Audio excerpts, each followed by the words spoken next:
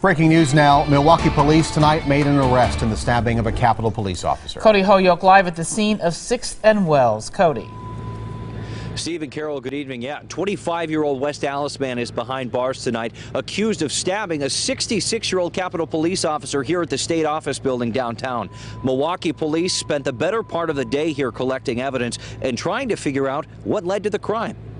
The police are here to protect us, and the police need protection, so that's that's sad. When Ebony Cummings tried to go inside the state office building, police turned her away at the door. Officers had locked down the area, processing evidence. I don't know what happened that would provoke somebody to do this to an armed officer, but it must be pretty serious for this to happen. No other state employees were reported injured. Authorities won't shed much light on what happened, only telling us two officers responded to a duress call on the fourth floor.